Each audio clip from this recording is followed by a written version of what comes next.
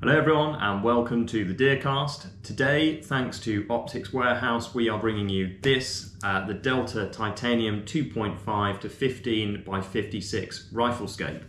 So, we've had it for a few months now, uh, we've had it out in the field, uh, we've compared it to some other scopes as well. Uh, we thought we'd bring you our thoughts uh, and opinions on it. So, first things first, um, when you buy a Delta Titanium scope, uh, or buy this particular one, you will get the scope and a set of bikini covers, um, which I'll quickly remove. It comes with a battery um, already installed, ready to power the illuminated reticle, which we'll come on to later.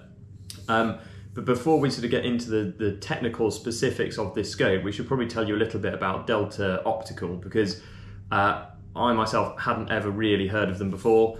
Uh, they're a Polish company. Uh, they were founded in 2002. Um, all of their optics um, are made in Poland, uh, but they're all sent to the DEVA uh, Institute uh, in Germany for testing. Um, we were sent this one by Optics Warehouse uh, because they were quite keen for us to have a look at it. Firstly, because it's a great value scope, retailing for just over £800. Um, but secondly, because it boasts a light transmission uh, of 93%. So as a deer stalker, um, that was pretty um, uh, interesting to my ears. Uh, so we thought we'd get it out and have a look. It's also got 56mm um, objective lens, uh, an illuminated reticle, uh, and quite a clever um, reticle as well. So again, all things that sort of tick the boxes um, for us as deer stalkers. Um, so if we sort of just run through all the different features of it, uh, the magnification adjusts like any other scope uh, in terms of it's got a, a um, twisting dial here. The only thing that is slightly different is, in my experience, most scopes you adjust uh, whatever level of uh, magnification you want to line to correspond with a mark on the top of the objective um, lens up here.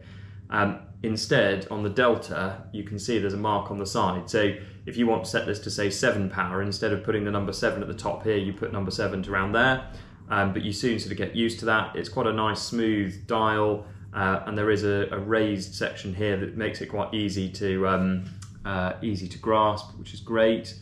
Uh, magnification wise, plenty up to 15 more than enough for, for deer stalking down to 2.5 great because um, you can really then get quite a nice wide field of view on the side you've got uh, side parallax um, which adjusts um, all the way up to infinity down from 15 uh, meters. The only thing I would say is that the, the dial is actually is really um, really stiff. I, I, actually can't turn it if I've got gloves on. Um, I really have to sort of crank it um, with my fingers.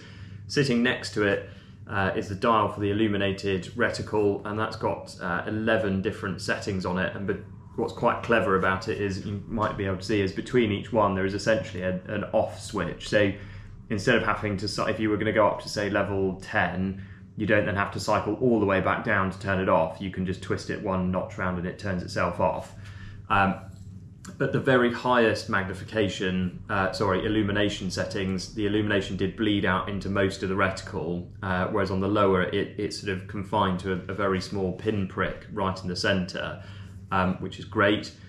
The reticle itself sits in the second focal plane, um, and it's uh, it's got uh, I think it's five hash marks um, beneath it, and they call it the 4ASB reticle. Um, and essentially it has subtension marks. We'll put a little insert um, in the video for you, uh, which means that if you see something at distance and you know what those hash marks correlate to in terms of your bullet drop, you can just simply adjust your reticle um, to one of those hash marks rather than having to mess around with a ballistic turret, which for a hunter out in the field, quite nice, um, quite quick and easy. And I know a lot of people prefer those to ballistic turrets, partly because they're less complicated and, and partly because it keeps the, the general sort of feel of the scope much smaller and much more compact. In terms of the turrets themselves, as you can see, they're, they're both capped in terms of windage and elevation. Um, very easy to sort of take off. Um, they adjust in uh, quarter MOA at 100 yards. Uh, it slightly confuses you because when you see um, the turrets themselves, they, they say that one click equals seven millimeters at 100 meters, which is uh, quarter MOA. Um, to adjust them very simply just twizzle them as per normal and once you've got that set up you can twist uh, sorry pull the cap up twist it to where it is and pop it back down to set it to zero so that you know that that is then set uh, and then simply put the caps back on.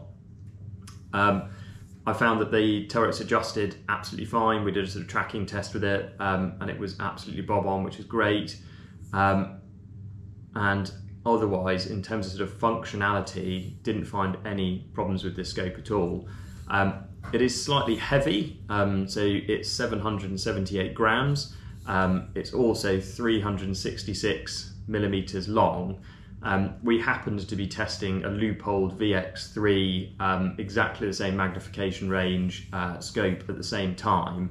Um, the Leupold is 120, 30 pounds more expensive, um, but is 100 grams lighter, uh, and I think uh, 10 to 20 millimeters shorter as well. So, yes, you've paid a little bit more for the Leupold, but you do get a slightly smaller optic at the same side, same time, I wouldn't say this this feels sort of too big or too bulky um, when it's on the rifle either.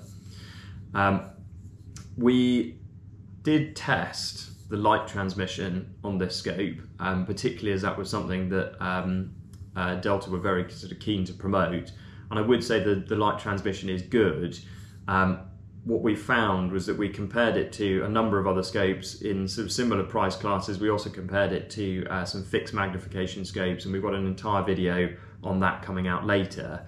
Um, but we did find that this this transmitted light well, but the clarity at low light wasn't particularly good. So you found that um, you could see things, but you couldn't necessarily pick out as much detail as you could with some of the other scopes.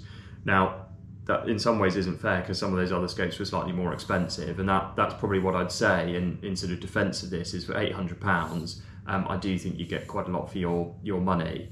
Um, otherwise, there's not a huge amount more to say about the scope. Um, very nicely built, um, very sort of robust looking scope, with packed with, packed with plenty of features. Um, so you are, if you are in the market um, for a sort of solid, good all-round deer stalking scope, uh, go and have a look. Um, that's the Delta Optical Titanium 2.5 to 15 by 56. Uh, you can get them plenty in stock uh, at Optics Warehouse, so go and check it out. As per usual, um, please remember to comment, like, and subscribe.